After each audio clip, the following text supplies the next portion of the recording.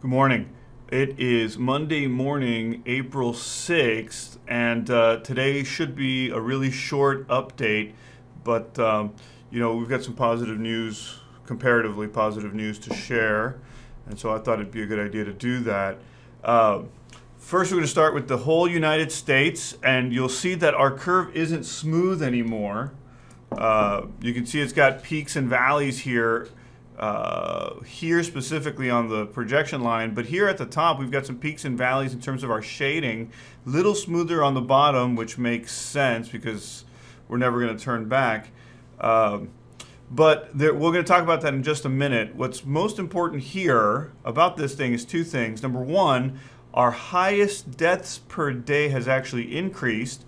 And you can see that we've had another, we talked about this last week when we had this jump from 520 to 870, and we were like, that's a huge big jump. Uh, and then we had some smaller rate of increases, and then we've had a big, big jump here from April 3rd to 4th, which uh, which pushes up our total number. Our total numbers that we were projecting three, four days ago were at 2,600. Now we're projecting 3,000. But if you look at total deaths, our total death number has actually gone down. Uh, and why is that? Well, from comparing this graph to the ones we saw before, two things have happened. Number one, our this is higher. Let me, you know what, let me draw again, just because everybody seems to enjoy that. Do, do, do, do, do. draw again. So this curve that we had projected before from here-ish looked a little more like so and it came down but actually lasted a lot longer. We expected this to go down in June. And so again kind of inversely to what we had reported earlier this guy's been pushed up in total number of deaths and I think that's just adjustment right? So this is higher but if you can go back and compare this peak, we expected the peak to occur about 14 or 15, and now this peak has kind of flattened out across the top. Yes, the numbers are a little higher here, but this flattening is occurring. So the stuff that we're doing, the social distancing, it's definitely having an effect in terms of the model, and it's pushing everything out to the right, which is great. It's also great because we seem because the sooner we get into this curve, the sooner we get out of it. And so you you heard me say stuff about you know May 1st and the kids not going back to school because what's the point at that point? But the last time we saw this, we also had these shaded uh, curves going into June, and so we were watching all of this be shaded over here.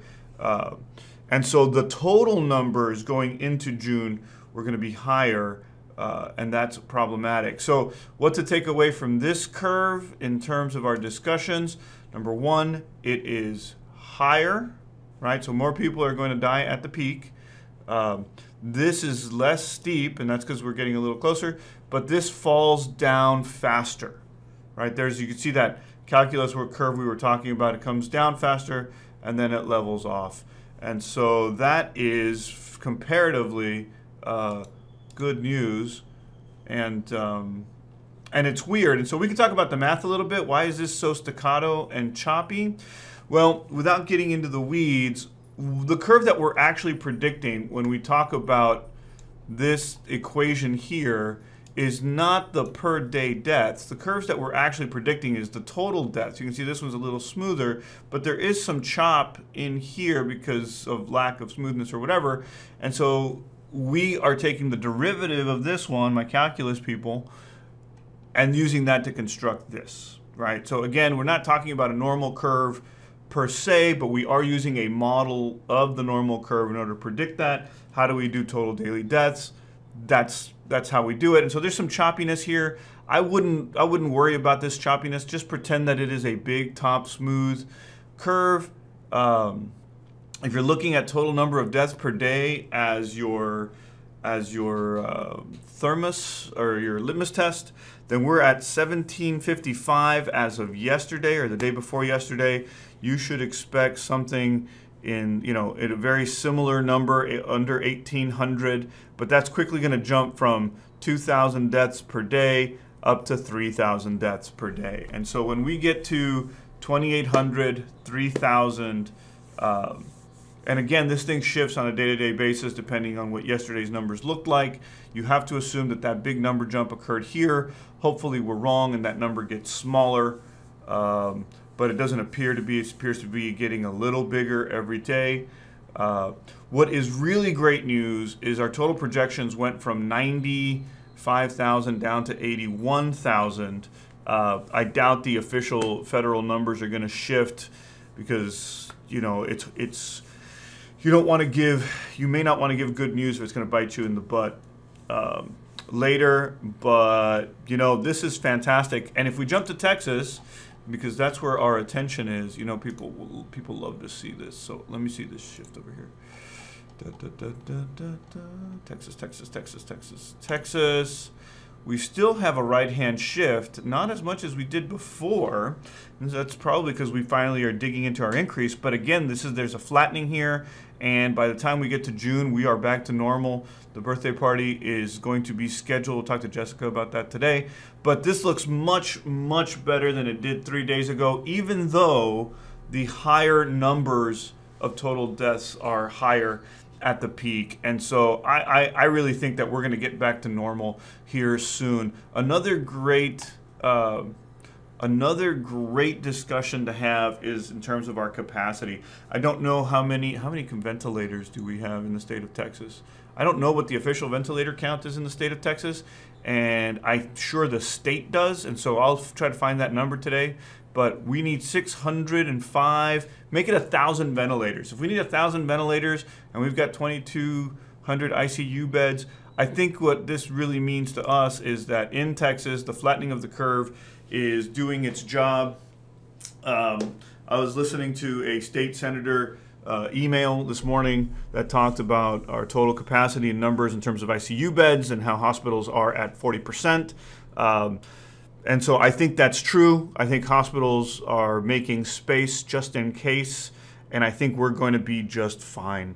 Uh, which is not to say that just fine means people aren't going to die, right? There, people are going to die. And so the only other thing I wanted to address today was the comparative statistics when it comes to these deaths and other deaths. And so we've had uh, we've had some folks on social media uh, make comments about why we aren't, you know, why we care about this more than we care about other things. And as a comparison, uh, if you're not familiar with the Texas Streak, Texas Highway the Streak.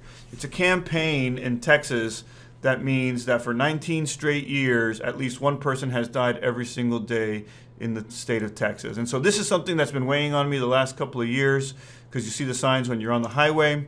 The total number of traffic fatalities in 2018 in the state of Texas were 3639, which is higher number than we're predicting in terms of total numbers per day. That is terrible. We can't do that. No, it's not. In terms of total numbers in the state, right? We are predicting a total of 2,025 más o menos people are going to die in the state of Texas according to this, which is not to say that there are secondary medical issues. Um, and the total highway deaths are 3,639. And so the argument says, and so the argument says if we are willing to shut down the national economy for 2,000 uh, deaths in the state of Texas, but we're not willing to shut down the economy for 3,800 deaths instead of Texas, then why are we treating uh, why are we treating the COVID-19 issue as such a calamity when there are other activities that we are doing as a society that are creating more deaths? And we talk about this in stats uh, right at the beginning of the semester because it's critically important. And those are identifying biases in logic. Uh, this bias in, in particular is called an anchoring bias. Uh, it means that once you uh, have a number or an opinion that you um, that you are aware of, that you use everything else to compare it back to this anchor. And so we have this anchor particular to the state of Texas, but in every other state, where we are willing to or have accepted the fact that 3,800 people, 3,500 people are going to die on the highway, And so we are, you know, me texting while I'm driving, or me drinking and driving, or or any other individual speeding, right? If you speed on the highway, you're contributing to that 3,800 number, uh, as opposed to you know, potentially continue to, as opposed to staying at home with the COVID number or whatever. But that anchor has been established, and so that's an that's an acceptable norm. Um, whether and it's a difficult thing to say that you we are all willing to accept that 3,800 people are going to die on the highway in the state of Texas. Clearly, this year will be smaller uh, for all the obvious reasons. Um, but we, but you but you but you still answer a text while you're driving. You still pick up the phone while you're driving. You're still speeding on the highway while you're driving. Matter of fact, you know we make fun of other people who are not speeding on the highway while we're driving because that that number is an anchor point on which we rest our opinion. For COVID-19, we have no anchor. We have no idea what that number is going to be. So when you hear the government say up to 250,000 deaths, you know, we, we have no idea to tell the government that they're right or that they're wrong. You know, if you look at the, the, the if you look at the curve that we're throwing up here, we don't know if this is right or wrong, right? We don't know that this is an appropriate model. We think it's about as good a model as we can get, and you know we've been a little, you know, our projections have been a little low. Um, we've been a little lower than the actual numbers, but we're not that far off, and so we just don't know what that number is. Um, and until we have an appropriate, comparable, emotional, psychological acceptance of whatever the effect of COVID 19 is, then we can move forward. And so there is some fear here. Uh, the response may not may be a little bit over the top in terms of the national economy and and uh, you know we're real lucky we're going to get a check i work for the university it's a, basically a state job uh, so we're going to be fine uh, my other business bills quarterly. We're going to be fine, but other people aren't. And so there's folks that are going to go back to work next week, you know, whether or not they're going to be in violation of the state guidelines.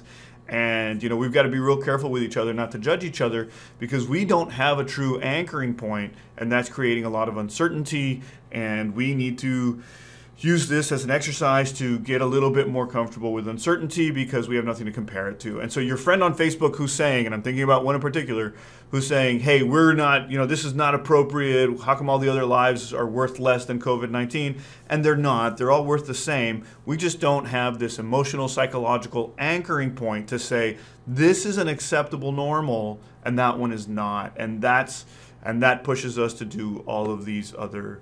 Um, measures such as social distancing, which, if you look at the flatness of the curve, appears to be working. Uh, appears to be working. And so if you compare this number, this 82,000 number that we're predicting as of today, to the 94,000 number that we looked at three or four days ago, I mean, why is it is it worth is it worth staying home, or you know, not in the state of Texas, across the, this is nationwide.